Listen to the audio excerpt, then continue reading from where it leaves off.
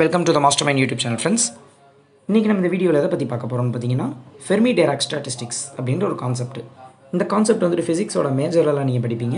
இப்போ இதோட பேசிக்ஸ் கொடுத்துருக்காங்க. என்னன்னு சொல்லி வாங்க வீடியோக்குள்ளே போகலாம்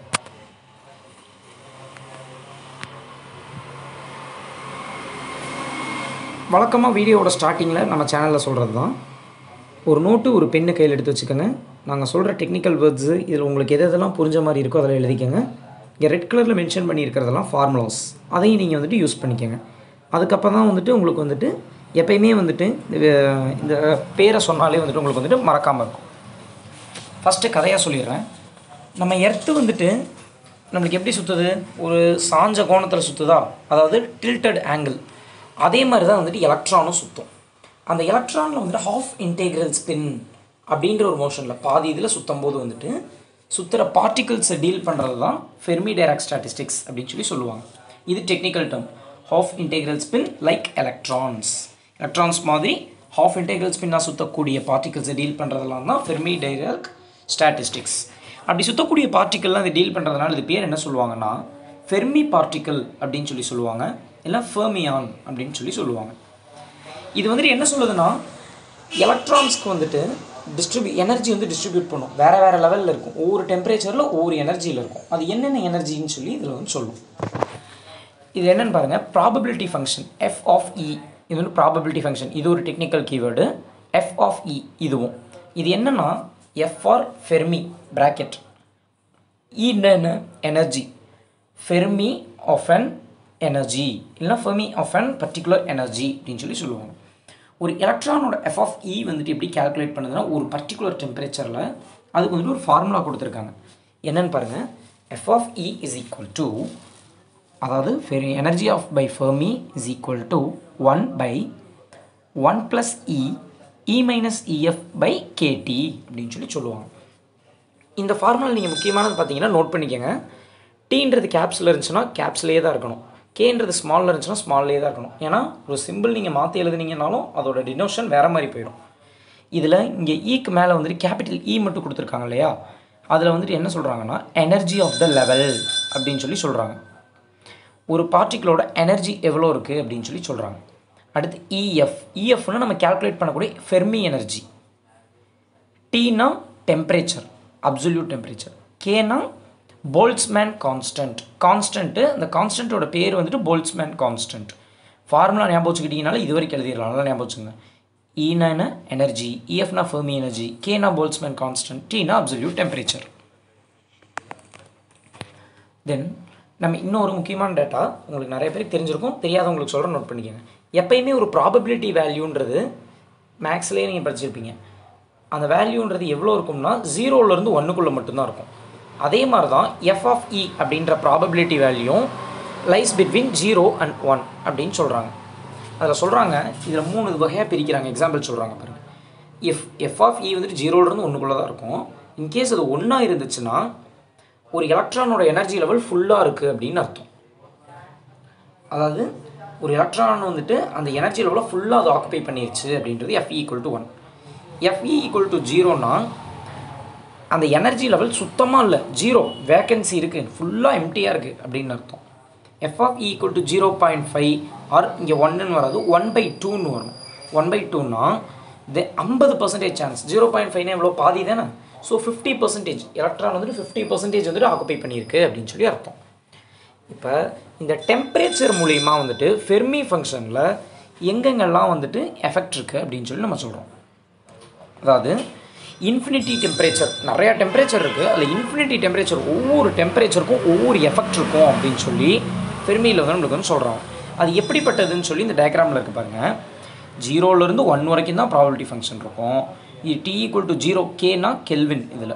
என்ன போல் இதில் வந்துட்டு டெம்பரேச்சரில் வந்துட்டு டெம்பரேச்சரை மெஷர் பண்ணுறது கெல்வின் ஓகேயா ஜீரோ கெல்வின் எவ்வளோ இருக்குது இதில் பாருங்கள் மூணு டெம்பரேச்சர் இருக்குது ஒன் டூ த்ரீ அது மூணுக்கும் எப்படி எப்படிலாம் இருக்குது எல்லாமே ஒன்றை தாண்டி போகாது அப்படின்னு சொல்லி சொல்கிறாங்க ஏன்னா ஜீரோ டு ஒன் தான் நம்மளுக்கு வேல்யூ ஜீரோ டு ஒன் இப்போ பாருங்கள் இதில் மொத்தம் வந்துட்டு ஒரு நாலு கேஸ் கொடுத்துருக்காங்க.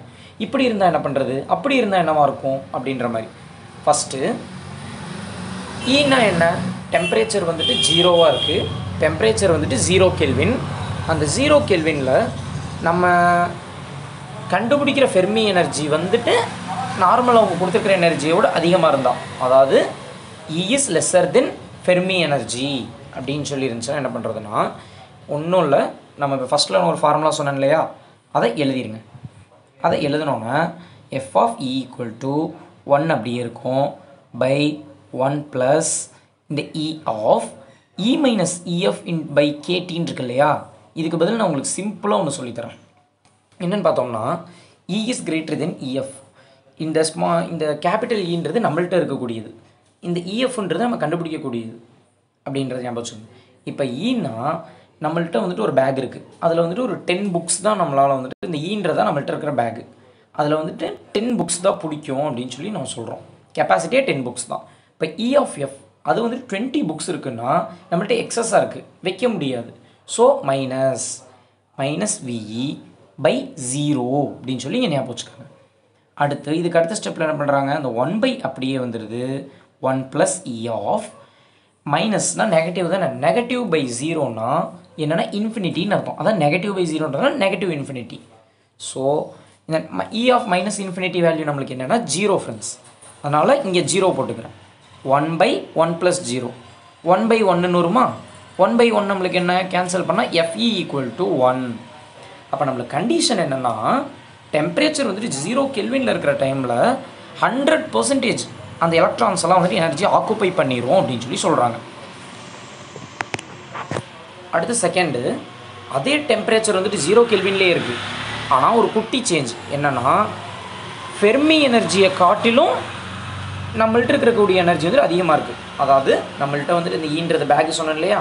பத் இந்த பேக்கில் பத்து புக்ஸ் வைக்க முடியும். ஆனால் இது வந்துட்டு அஞ்சு புக்ஸ் தான் இருக்குது அப்போ நம்மளுக்கு பாசிட்டிவ் தானே? ஸோ அப்படி இதை மட்டும் ஞாபகம் வச்சுக்கிட்டீங்கன்னு நீங்கள் போதும் அகெயின் அந்த ஃபார்முலா நீங்கள் மனப்பாடம் பண்ணி வச்சுருப்பீங்க இல்லையா? அந்த ஃபார்முலா எழுதிக்கிறீங்க. ஃபெர்மிக்கல் ஃபார்முலா இது பேர். அதில் என்ன எழுதுறீங்க? One by one plus E e. அங்கே நம்மள்கிட்ட தான் இன்னும் இடம் இருக்குல்ல? நம்மள்கிட்ட இன்னும் இடம் இருக்கிறதுனால இன்னொரு அஞ்சு புக்கு வைக்கலாம். So plus VE by zero இன்னும் இடம் இருக்குது பாசிட்டிவ் ஸோ பாசிட்டிவான அது சைனு வைக்க முடியலைன்னா நம்மளால் வைக்க முடியாது. சே நெகட்டிவ் இது நம்மளால் வைக்க முடியும். Positive B plus VE by zero அப்போ இங்கே என்ன வரும்? அங்கே ப்ளஸ் விஇன்றதுனால ப்ளஸ் இன்ஃபினிட்டி போட்டுக்கிறேன். அதாவது one by one plus E of plus இன்ஃபினிட்டினா infinity E of minus இன்ஃபினிட்டினா ஜீரோ இதெல்லாம் நோட்ஸ் எடுத்து வச்சுக்கோங்க. இந்த ஃபார்முலா நோட்ஸ் எடுத்துக்கணும். இந்த கண்டிஷன்ஸ் ரெண்டு கண்டிஷன்ஸு இந்த டெம்பரேச்சரு அடுத்து இங்கே ப்ளஸ் வி வர்றது உங்களுக்கு புரிஞ்சது எப்படி? இந்த பேக் சம் மூலிமா புரிஞ்சுதா? பேக் நம்மளால இடம் வைக்கல அப்படின்றத புரிஞ்சுதா? அடுத்து இ ஆஃப் ப்ளஸ் இன்ஃபினிட்டினா நம்மளுக்கு வந்துட்டு இன்ஃபினிட்டி ஃபார்முலா அது. இ ஆஃப் மைனஸ் இன்ஃபினிட்டினா ஜீரோ இப்போ அடுத்து E of plus infinity infinity போட்டோம். ஒன் பை ஒன் ப்ளஸ் இன்ஃபினிட்டின்றது வந்துட்டு இன்ஃபினிட்டி அதாவது எந்த நம்பர் கூட வந்து நம்ம இன்ஃபினிட்டி ஆட் பண்ணாலும் இன்ஃபினிட்டி தான் வரும். So one by infinity one by இன்ஃபினிட்டின்னா என்ன? ஜீரோ இதுவும் ஃபார்முலா ஸோ அப்போ எஃப்இ ஈக்குவல் டு ஜீரோ ஜீரோனா எலக்ட்ரான் வந்துட்டு அந்த ஃபஸ்ட்டில் அந்த கண்டிஷனில் என்ன சொல்லியிருந்தேன்? ஜீரோனா வேக்கன்சி லெவல்னு சொல்லியிருந்தேன்னா எம்டியாக இருக்குது அப்படின்னா இதை நம்ம எப்படி எழுதுகிறோம்னா ஃபுல்லாக ஃபுல் அதில் வந்துட்டு ஆக்குபை பண்ணுற சான்ஸே இல்லை. அப்படின்னு சொல்லி சொல்கிறாங்க ஸோ இது இப்படி ஆக்குபை பண்ணுறது மூலிமா இது என்னதுன்னா ஸ்டெப் ஃபங்க்ஷனாக வந்துடுது ஜீரோவில் இருந்தால் அது பேர் ஸ்டெப் ஃபங்க்ஷன் இந்த ஸ்டெப் ஃபங்க்ஷன் கீவேர்டு அடுத்து கேஸ் த்ரீ இதில் என்னென்னா இதில் வந்து டெம்பரேச்சர் வந்துட்டு ஜீரோன்லாம் சொல்ல முடியல நம்மளால். ஏதோ ஒரு ஆர்டினரி டெம்பரேச்சரில் இருக்குது நம்ம இப்போ வீட்டில் இருக்கோம்னா அதோட ஆர்டினரி டெம்பரேச்சரில் இருக்குது அப்படின்னு சொல்லிடுறோம். இதில் என்ன சொல்கிறாங்கன்னா ஆர்டினரி டெம்பரேச்சரில் இருந்துச்சுன்னா ப்ராபபிலிட்டி ஃபங்க்ஷனோட வேல்யூ ஒன்றுலேருந்து அப்படியே ரெடியூஸ் ஆக ஆரம்பிச்சிருமா. அதாவது எனர்ஜி வேல்யூ இ இருக்கு இல்லையா? அதுலேருந்து அப்படியே கொஞ்சம் கம்மியாக இருக்கும் இஎஃப் அதாவது பத்து புக்கு இருக்கக்கூடிய இடத்துல வந்துட்டு எட்டு ஏழு இப்படியே இறங்கும். கொஞ்சம் கம்மியாக அப்படியே இறங்கும். டெம்பரேச்சர் இன்க்ரீஸ் ஆச்சுன்னா என்ன ஆகும்? Temperature is greater then zero kelvin ஜீரோனா எம்டியாக இருக்கிறது. குளிரும் இல்லை வெயிலும் இல்லை அப்படி. அதை தாண்டிலும் கொஞ்சம் டெம்பரேச்சர் இன்க்ரீஸ் ஆச்சுன்னா இது கிரேட்டர் ஆயிருமா? அப்போ நம்ம என்ன பண்ணுறோம்னா அப்போ இதுக்கு வந்துட்டு நல்லா பாருங்கள் அந்த ஃபார்முலா எழுதுறதுல. இ ஈக்குவல் டு இஎஃப் கரெக்டாக பத்து புக்கு வேண்டிய இடத்துல கரெக்டாக நம்மள்ட்ட பத்து புக்கு இருக்குது ஸோ வச்சாச்சு. அப்போ என்ன ஆகும்? One by one plus E of zero அந்த ஃபார்முலா இங்கே எழுத நம்மளுக்கு தேவையில்லை. அவசியப்படலை. ஓகேயா one by one plus E of zero அப்படின்னு. இ ஆஃப் ஜீரோன்னு என்ன வேல்யூனா one so one by one plus one so one by two ஓகேயா ஒன் பை டூன்னு என்னென்னு எழுதிக்கலாம்? Zero point five percent zero point five இது எதுக்கோசரம் இப்படி எழுதுகிறோம்னா நம்ம இவ்வளோ நேரம் எல்லாம் ஹண்ட்ரட் பர்சன்டேஜ் ஜீரோ பர்சன்டேஜ் இருந்ததுன்னா பார்த்தோம். அப்போ ஜீரோ பாயிண்ட் ஃபைவ்ன்றது பர்சன்டேஜ் கன்வெர்ட் பண்ணும்போது நம்ம ஹண்ட்ரடால் மல்டிப்ளை பண்ணுவோம். இப்படி ஹண்ட்ரடால் மல்டிப்ளை பண்ணால் ஃபிஃப்டி பர்சன்டேஜ் அப்படின்னு சொல்லுவோம். அப்போ என்ன சொல்கிறோம்னா அந்த எலக்ட்ரானால் அந்த எனர்ஜி வந்துட்டு ஃபிஃப்டி பர்சன்டேஜ் வந்துட்டு ஆக்குப்பை பண்ண முடியும் அப்படின்னு சொல்லி சொல்கிறாங்க மூணு கேஸ் பார்த்துருவோம் இப்போ கடைசி கேஸ் கொஞ்சம் வித்தியாசமானது ஆனால் உங்களுக்கு ஈஸியாக புரியக்கூடியது. அட் ஹை டெம்பரேச்சர் எவ்வளோ டெம்பரேச்சர்னு சொல்லு ஆனால் டெம்பரேச்சர் ரொம்ப ஹையாக இருக்குப்பா. நம்ம சொல்கிறோம் இல்லையா லீவ்லாம் என்னடா அது இப்படி வெயில் எடுக்குது? அப்படின்னு மாதிரி என்ன டெம்பரேச்சர் அதிகமாகிடுச்சு அப்படின்னு. அது மாதிரி டெம்பரேச்சர் என்ன பண்ணுவாங்கன்னா when KT is greater then EF அதாவது போல்ஸ்மேன் கான்ஸ்டன்ட் இன்டூ டெம்பரேச்சர் இது ரெண்டும் வந்துட்டு எதோட அதிகமாக இருக்குது ஃபெர்மி எனர்ஜியோட அதிகமாக இருந்துச்சுன்னா என்ன சொல்கிறாங்கன்னா electrons lose their quantum mechanical character இது ரொம்ப முக்கியம். இது technical word electrons lose their quantum mechanical character அப்போ என்ன பண்ணோம்னா Fermi distribution F of E வந்துட்டு கிளாசிக்கல் போல்ஸ்மேன் கான்ஸ்டன்ட் டிஸ்ட்ரிபியூஷனாக மாறிக்கும். போல்ஸ்மேன் டிஸ்ட்ரிபியூஷனில் வேறு எதுவுமே இல்லைங்க. முன்னாடி கே ஆட் பண்ணியிருக்கேன் இல்லையா? இதுதான். அடுத்து இப்படி நம்ம இந்த யூசஸ் ஆஃப் ஃபெர்மி டிஸ்ட்ரிபியூஷன் மூலயமா நம்ம என்ன கண்டுபிடிக்க முடியும்? ஒரு மூணு பாயிண்ட் இருக்குது நீங்கள் ஞாபகம் வச்சுக்கோங்க. ஒரு மெட்டலோட ஃபெர்மி எனர்ஜி அதில் எவ்வளோ ஆக்குபன்சி ஸ்பேஸ் இருக்குது அப்படின்றத வச்சு நம்ம கண்டுபிடிக்க முடியும். அடுத்து ஒரு ஒரு பர்டிகுலர் டெம்பரேச்சரில் அது எவ்வளோ எலக்ட்ரான் வந்துட்டு கேப்சர் பண்ணும்? இப்போ நம்ம ஒரு அலுமினியம் கொண்டு போகிறோம் இந்த அலுமினியம் வந்துட்டு இந்த டெம்பரேச்சரில் இவ்வளோ தான்ப்பா கேப்சர் பண்ணும். அப்படின்னு சொல்லி நம்மளால் வந்துட்டு தெரியும். கண்டுபிடிச்சிடலாம். அதுக்கோசரம்.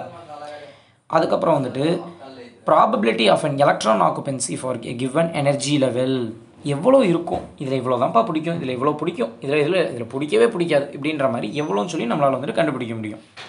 ஓகேயா இந்த டெக்னிக்கல் வேர்ட்ஸ் எல்லாம் யூஸ் பண்ணி நாலு கேஸும் எழுதி ஃபெர்மி ஃபங்க்ஷன் என்னன்னு சொல்லி நீங்கள் போட்டிங்கன்னா உங்களுக்கு கட்டாயமாக பதிமூணு மார்க் உறுதி. ஸோ இந்த வீடியோவில் உங்களுக்கு ஏதாவது டவுட் இருந்துச்சுன்னா மறக்காமல் கமெண்ட் செக்ஷனில் கேளுங்க. இது மாதிரி உங்களுக்கு வந்து நிறையா வீடியோஸ் இன்னும் வேணும்னா மறக்காமல் நம்ம சேனலை சப்ஸ்கிரைப் பண்ணிக்கோங்க லைக் பண்ணுங்கள் மறக்காமல் இந்த வீடியோவை உங்கள் ஃப்ரெண்ட்ஸ்க்கெல்லாம் ஷேர் பண்ணுங்கள் friends until then your master mind